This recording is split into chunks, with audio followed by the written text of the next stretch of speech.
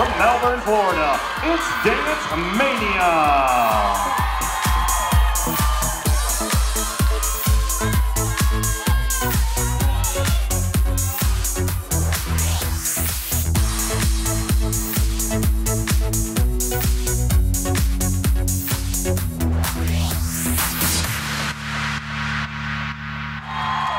Gold medal is Dance Mania!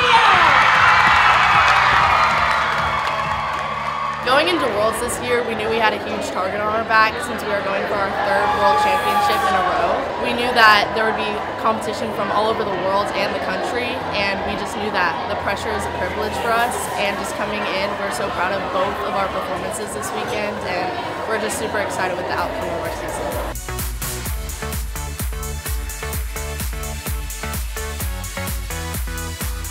We just won